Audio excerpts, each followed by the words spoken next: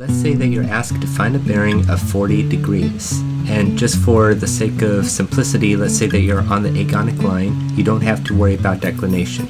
So this is what you do. You look inside the housing and you find 40 degrees.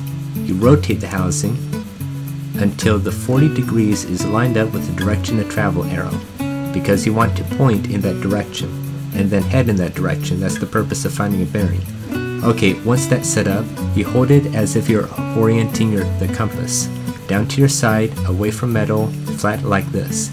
And then you rotate your body until the magnetic needle is inside the orienting arrow. In other words, the magnetic needle is pointing to the north on the compass inside the housing. And if this way's north and you're going clockwise in degrees, this is 40 degrees from north, so this is a bearing of 40 degrees in this direction.